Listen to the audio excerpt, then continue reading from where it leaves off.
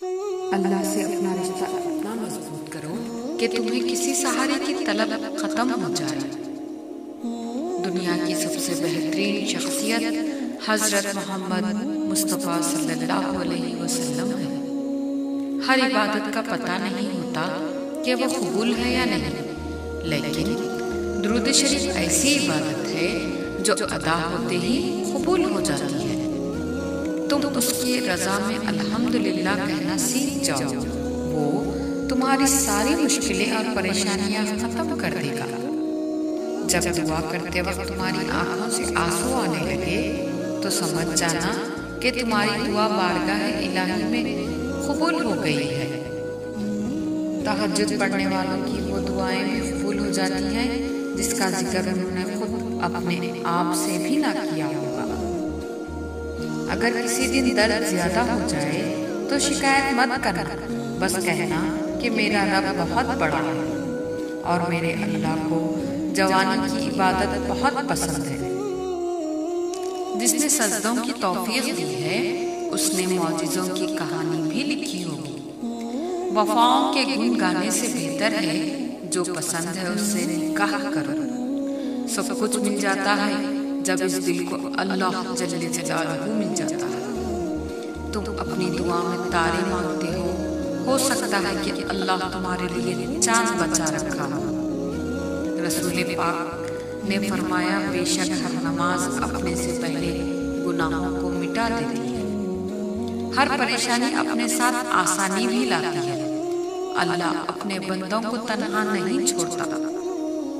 तहज्जुद के सजदे कभी खाली नहीं जाती। ये अल्लाह से अपनी बात मनवा कर शुक्राने के सिजदों में बदल जाती है। ये मोहब्बत ही तो है जो दुनियावी ख्वाहिशों से गाफिल होकर उसकी जात में फना होना सिखाती है। अल्लाह तुम्हें तहज्जुद तक ले आया है। इसका मतलब ये है कि अल्लाह तुमसे राज़ी है और तहज्जुद का मतलब महबूब को मांगना नहीं है, बल्कि अल्लाह से अल्लाह की मोहब्बत को मांगना है। अल्लाह से मांगने के बाद मुश्किल या नामुमकिन का गुमान नहीं रखते, सिर्फ़ यकीन से ताल्लुक मज़बूत करते हैं। बेबस इंसान के लिए तहजुद का सजदा ही उसकी बेबसी को दूर कर सकता है।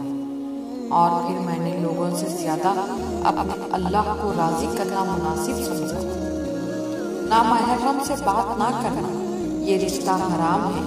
टूटा दिल लिए घूमोगी यही इसका अंजाम है। खुद को लोगों की नज़रों से छुपा कर रखना, क्योंकि लोगों का काम है बस तकना खुश ना होना किसी लड़के से अपनी तारीफ़ सुनकर, समझ लेना उसने फेंका है पहला जाल तुम पर। ना तुम खुद को अल्लाह से दूर करना, वरना शैतान जान जाएगा कैसे है तुम्हें मजबूर करना। तुम्हें इस दौर में बहुत एहतियात से रहना है, ना किसी की बातों में आना है, ना किसी के जज्बात में बहना है।